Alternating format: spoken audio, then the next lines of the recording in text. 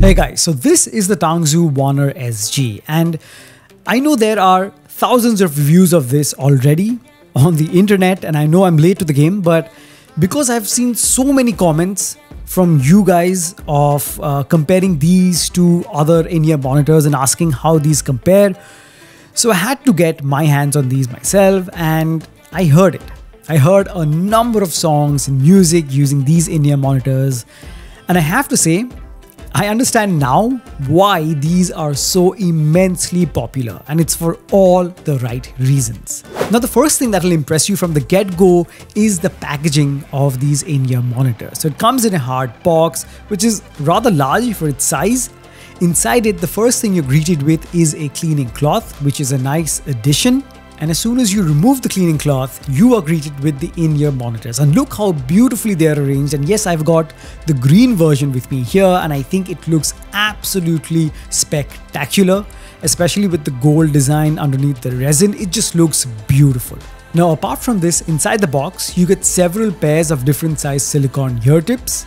You get the oxygen-free copper cable that has two pin detachable cables on one end it has an inline microphone with a single button, and it ends in a 3.5mm L-shaped audio jack. Now these house a single 10mm dynamic driver inside and have got an impedance of 20 ohms so although these are low impedance in-ear monitors, again, I would highly suggest that you do invest in a portable DAC. Nothing too fancy, just something that can give these enough power and let these perform to their full potential so that you get the best audio experience. And of course, I'll link the portable DAC that I use in the description below. And as for comfort as well, although these are not built with premium materials, it's your usual resin, but I am not against it they are light, they are very comfortable in the ear, fit very snug and provide good passive noise isolation and they don't tire or wear out your ears even for long listening sessions. Okay, now let's get into the main criteria which is the audio quality, which is why the Tangzu Wan'er SG is so popular in its price segment. So you guys know if you're an existing viewer, I judge these in-ear monitors based on how they produce the three main frequencies that broadly make up any sound that you hear the highs, the mids, and the lows. The highs are the treble, where the really sharp sounding instruments are, the mids, where the vocals are, and the low end or the bass response. So, starting with the higher frequencies, the highs have a lot of detail, they have enough richness, and although they are given a bit of preference, they are by no means sibilant, where the S's sound very harsh. So, even for long listening sessions, they are a okay. They bring out those subtle nuances which are there in the higher frequencies. The instruments are beautifully rendered. It's got a sparkly rendition.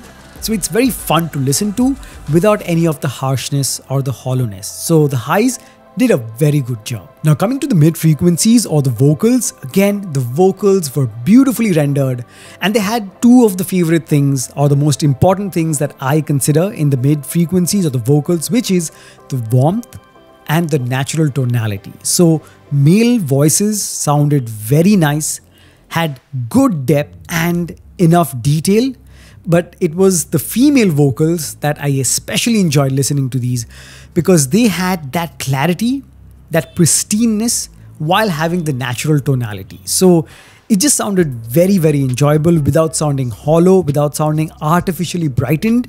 It was at the sweet spot, and any song that you listen to is done justice. However, certain tracks and at certain points, I would find that the low end at times would creep into the lower mids, and that is when it would sound a bit muffled if all of those were playing together. So it depends on the track as well, but it's something that I did notice. It's not a deal breaker by any means. It's because I was listening to it with my full attention and I want to give you the most detailed uh, feedback possible. So this is something I did notice, but for any general listener, it's nothing that you should even think about because the vocals sounded very, very good. Finally, we get to the low end or the bass response. Now, the bass response was thick and punchy and round. It's a bit mid bass heavy, so the mid bass is fast and very responsive and really gives you that thump, and it's very undistorted as well. However, having said that, certain tracks did give me a bit of those subtle rumbles, the, the sub lows. This was rare but it did happen. So that is a plus point.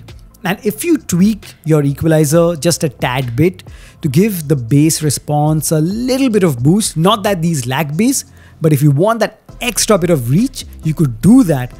And that brings in a lot more power into the low end and your tracks just sound that much more impactful and powerful and the overall experience becomes much more enjoyable. Alright guys, so that was my review of the Tangzu Wan'er SG. I definitely recommend them and you should definitely get yourself a pair if you haven't already. And the link to this product is given in the description below and I would really appreciate it if you use that link to make your purchase. It's an affiliate link. It won't cost you anything extra, but you guys will be helping me run this channel and I can produce more such high quality and helpful content just for you guys.